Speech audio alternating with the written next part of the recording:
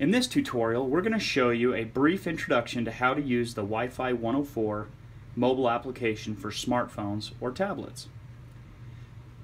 Step number one is download the Wi-Fi 104 application through the App Store or the, uh, the Google Play Store. Then go to your settings. If you click on the settings, you want to connect to the Wi-Fi 104 network that is broadcasting. It's broadcasting from the unit inside the control panel. Once you connect to the Wi-Fi 104, I'm already connected, it pulls up, go back out, and then open the Wi-Fi 104 template. As you can see, it will pull up. It should be already pre-programmed from your previous from your installer you're going to click on it and it's going to bring up this menu.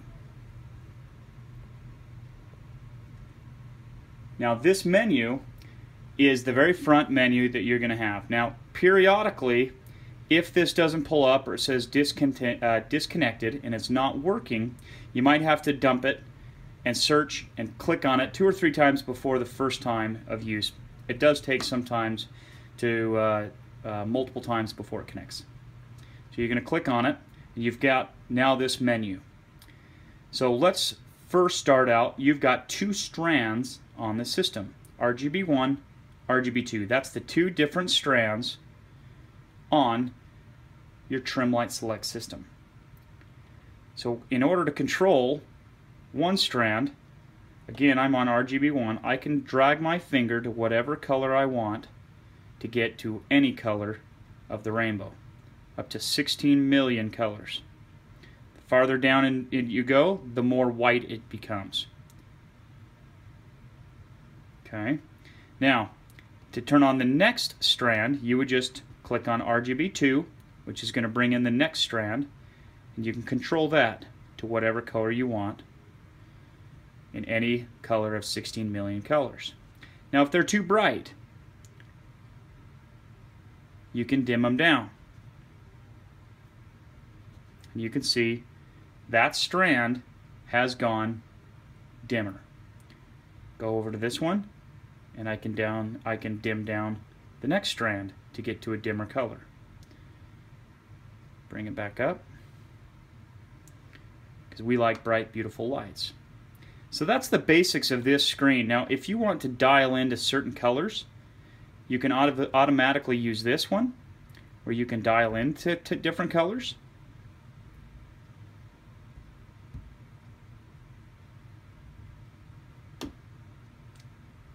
can even go to more of a purple. Uh, I'm sorry, an orange. Nice vibrant orange. Now, that is the main points of this main screen. Now down here, you've got multiple different menus. The device menu takes you back to the main screen that we originally saw.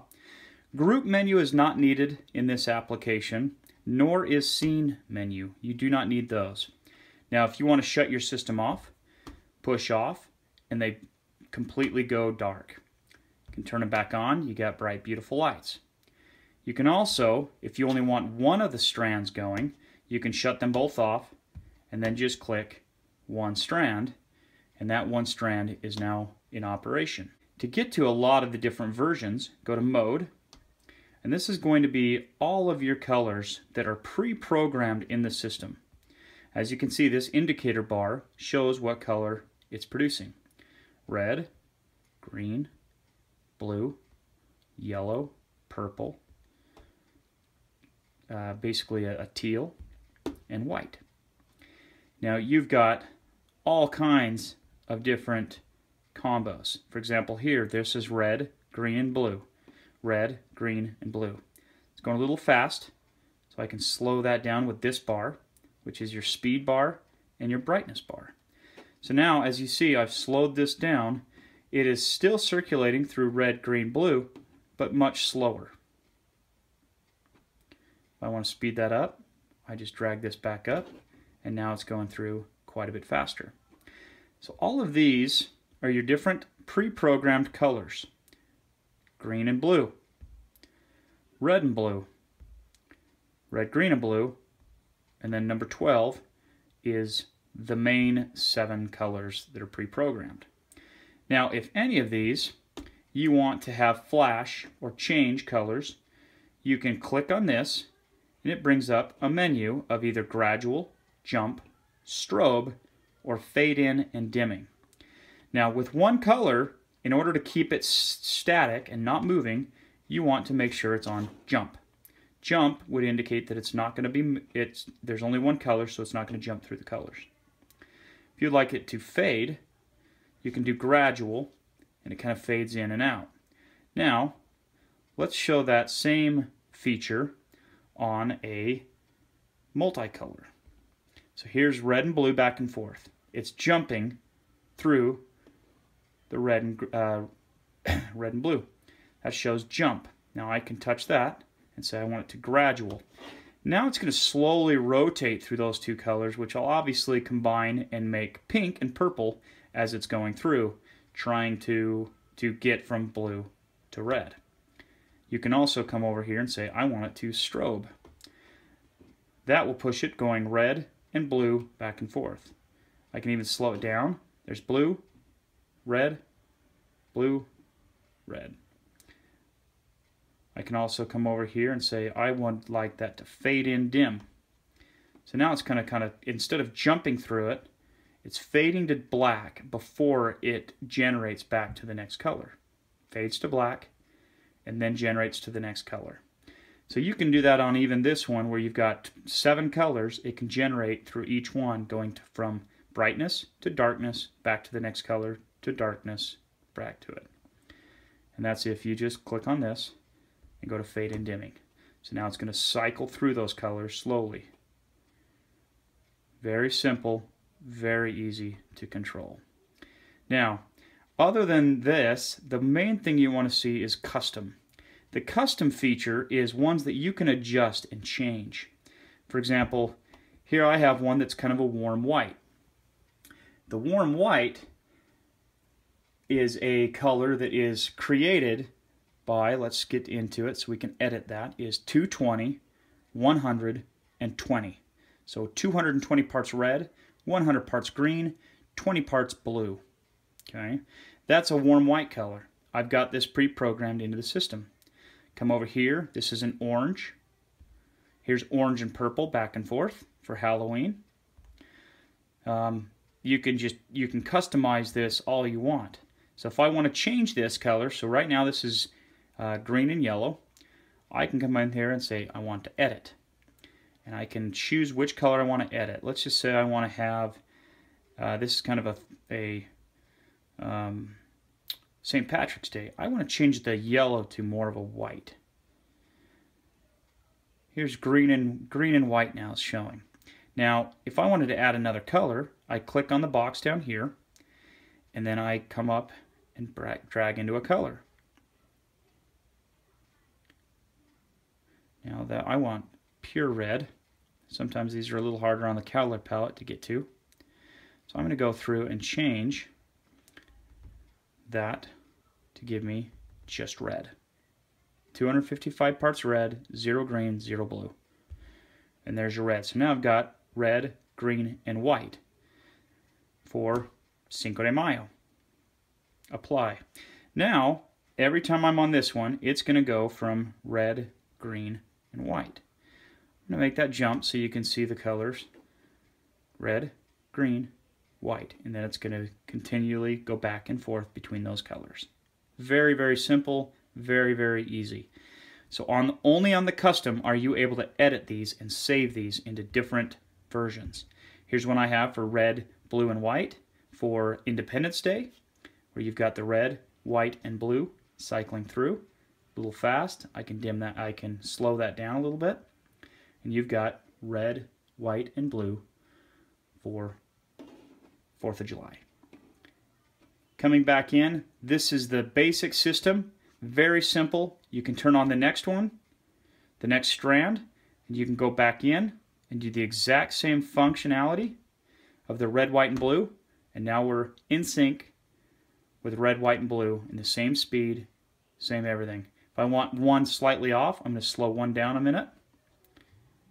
And then I'll speed it back up. Now I've got a cycle through of red, white, and blue to be able to stay on the entire time.